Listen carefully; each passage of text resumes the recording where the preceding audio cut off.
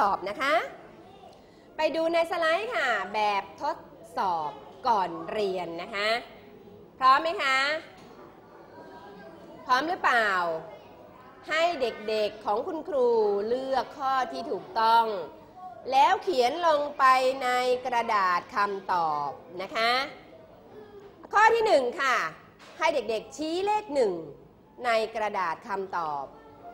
ทั้งต้นทางแล้วก็ปลายทางนะคะ ข้อที่หนึ่งพร้อมไหมคะ คุณครูอ่านให้ฟัง ข้อใดแสดงจำนวนสามข้อใดแสดงจำนวนสามข้อกอข้อขอ หรือข้อคอคะใครคิดว่าข้อกอไก่ก็เอากอไก่ลงไปเขียนในข้อที่หนึ่ง ใครคิดว่าเป็นขอไข่ก็เอาขอไข่ลงไปเขียนในข้อที่หนึ่งใครคิดว่าน่าจะเป็นคอควายนะ ก็เอาคอควายนี้ไปเขียนให้ตรงในข้อที่หนึ่งเอาลงมือค่ะ รีบนิดหนึ่งชื่อเดี๋ยวค่อยเขียนต่อนะคะลูก เพราะว่าเวลากำหนดไว้แล้วนะคะ ข้อหนึ่งค่ะ ข้อใดแสดงจำนวนสามห้ามดูกันนะคะ ห้ามดู ให้ใช้ความรู้ของตนเอง เดิมก่อนนะคะ ข้อใดแสดงจำนวนสามเขียนหรือยังคะลูก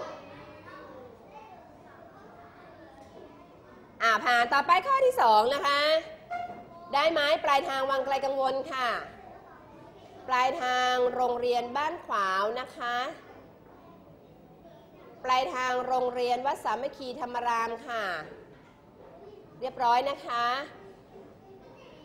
ปลายทางโรงเรียนบ้านห้วยปากแหว่งนะคะ บ้านหินสามก้อนค่ะ ต่อไปข้อที่สองข้อใดแสดงจำนวนศูนย์ศูนย์รู้จักไหม ไปดูกันเลย ข้อกอข้อขอ หรือข้อคอเอาให้เลือกเลือกมาหนึ่งตัว แล้วเขียนลงไปในข้อที่ สองค่ะลูก ปิดวาจาของตนเองนะคะ ให้ปิดวาจาค่ะคำพูดไม่ปรากฏนะคะ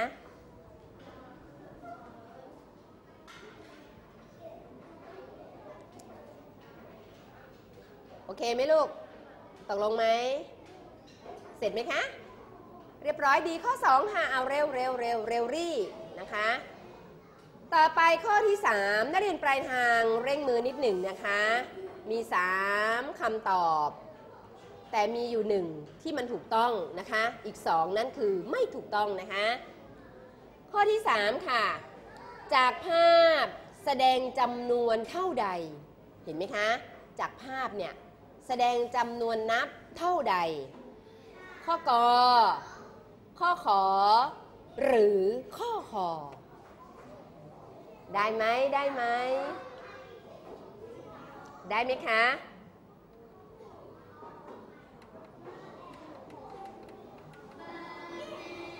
ได้ไหมคะ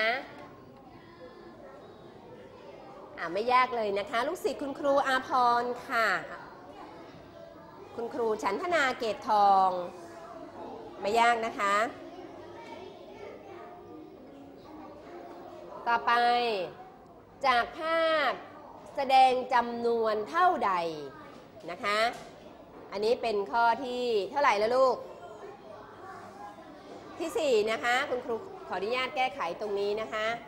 เป็นข้อทีสี่4 ค่ะ ข้อทีสี่ 4 นะคะ ตรงนี้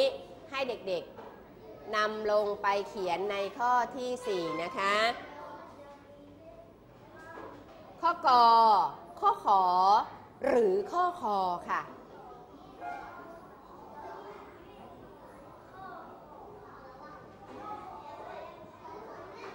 ได้ไหมคะ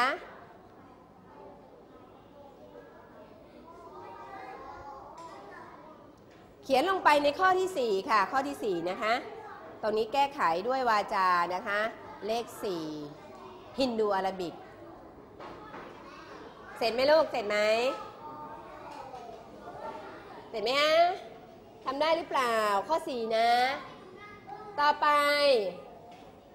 ข้อที่ 5 มาแล้วนะคะ ตัวเลขทุกตัว ในข้อใด ใช้แทนจำนวน 5 ตัวเลขทุกตัว ในข้อใด ใช้แทนจำนวน 5 ข้อกอข้อขอ หรือข้อคอเลข 5 นะคะ ได้ไหมลูก ดูให้ดี ดูให้ดี ดูให้ดีค่ะ อย่าให้ผิดนะ อย่าให้ผิดนะ ยากไหมคะ ไม่ยากนะคะ ได้ไหมลูก ไหนใครเสร็จแล้วยกมือค่ะ เอามือลง เก่งมาก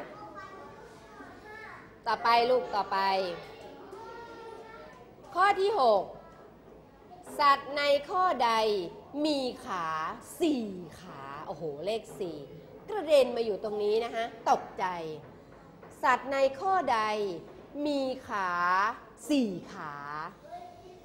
ไปดูกันเลย ข้อกอไก่ ขอเมียวแมว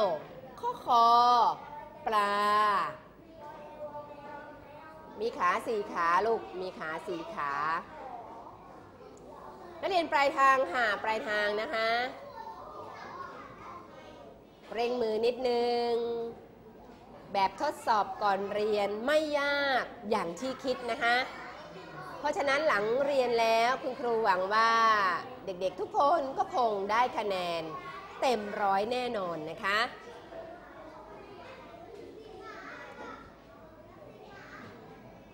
ต่อไปข้อที่ 7 ข้อใดถูกต้องเห็นไหมคะ ข้อใดถูกต้อง ข้อกอข้อขอ หรือข้อคอในเรื่องของการเปรียบเทียบสองจำนวนแล้วใช้เครื่องหมาย ซึ่งเป็นสัญลักษณ์กำกับนะคะ ข้อกอข้อขอ หรือข้อคอ ได้ไหมเอ่ย ได้ไหมหมูหยอง หมูหยอง ได้ไหมลูก กระโดดไปไกลแล้วหมูหยองนะคะ ดูด้วยนะคะ ดูด้วย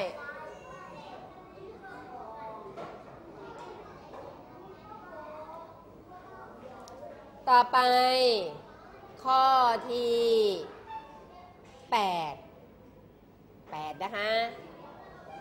ข้อใดถูกต้อง ข้อใดถูกต้อง ข้อกอข้อขอ หรือข้อคอได้ไหมคะ ข้อกอ5มากกว่า 3 ข้อขอ 4 น้อยกว่า 2 ข้อคอ 3 เท่ากับ 0 งงไหม ไม่งงแล้วนะคะ อ่าไม่งงไม่งง ได้ไหมลูกอ้าวได้นะคะ ไม่งงแล้วนะ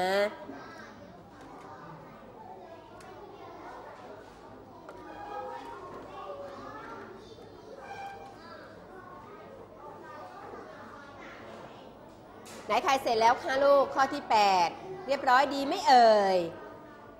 ต่อไปค่ะ เป็นข้อที่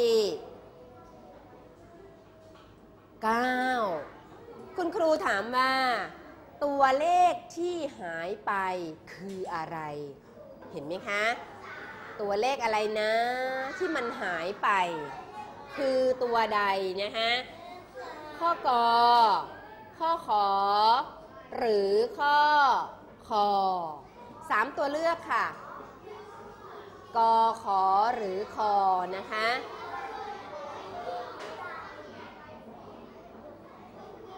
ได้ไหมลูก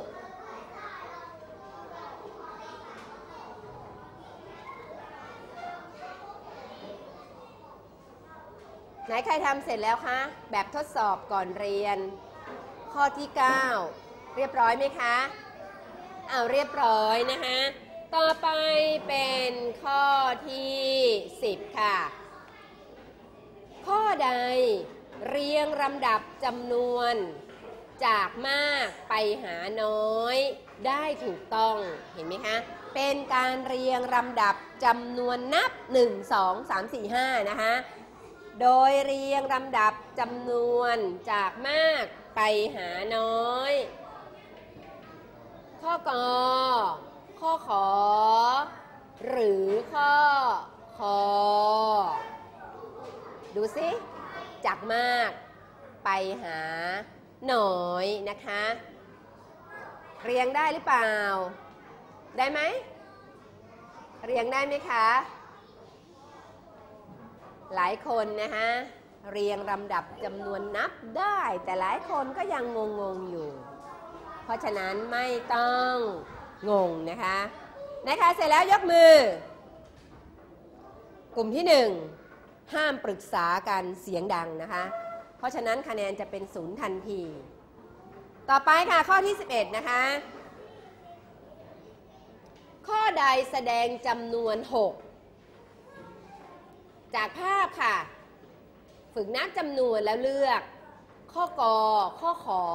หรือข้อคอนะคะ ถูกหนึ่งข้อค่ะลูก อย่างงงนะคะ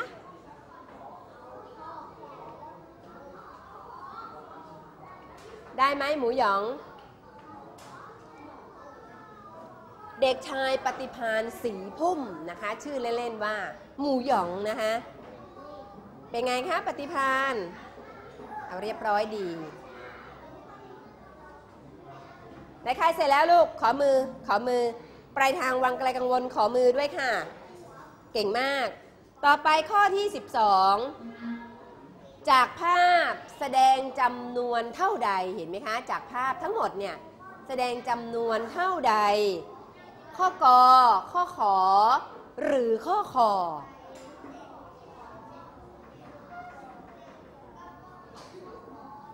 ฝึกนับกันใหญ่เลย เห็นไหมคะ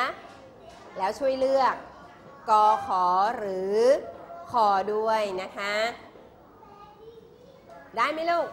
โอ้โห เก่งมากเลย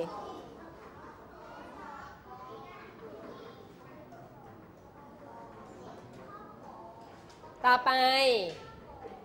เสร็จแล้วใช่ไหมคะไหนใครเสร็จแล้วลูก ยกมือนะคะ ไม่เข้าใจให้ถามนะคะ ข้อที่ 13 ค่ะ จำนวนที่หายไป หายไปอีกแล้ว คือจำนวนในข้อใด ข้อกอข้อขอ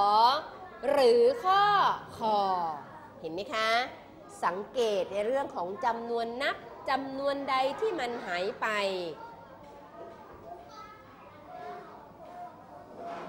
ได้ไหมคะ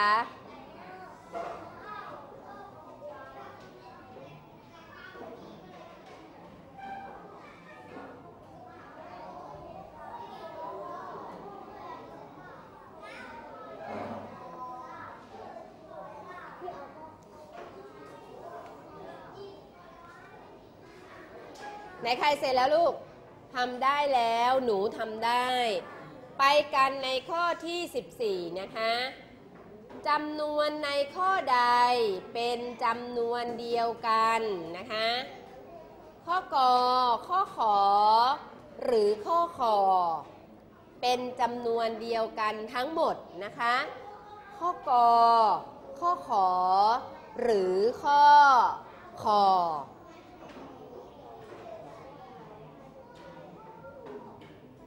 ได้ไหมคะ ได้แล้วหลายคนบอกว่าไม่ยากเลย ได้ไหมลูกไหนใครเสร็จแล้ว ต่อไปข้อสุดท้ายในชั่วโมงนี้นะคะก็คือข้อที่ 15 ค่ะ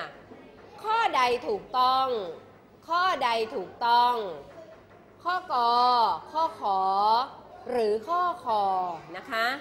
ในเรื่องของการใช้เครื่องหมายซึ่งเป็นสัญลักษณ์ แทนคำว่ามากกว่า น้อยกว่าหรือว่า เท่ากับ ข้อสุดท้ายค่ะในชั่วโมงนี้นะคะ เพราะว่าเวลาหมดลงอีกแล้วตามเคยนะคะอ้าวคิดว่าข้อกอถูกเขียนข้อกอข้อขอถูกไม่เอ่ย ไม่แน่ใจ แล้วข้อคอล่ะ ยิ่งไม่แน่ใจใหญ่เลยนะคะเอาแล้วค่ะใครเสร็จแล้วลูก ช่วยยกมือหน่อย คนเก่งคนดี ในชั่วโมงนี้นะคะเอาละค่ะเด็กๆ วางมือค่ะลูก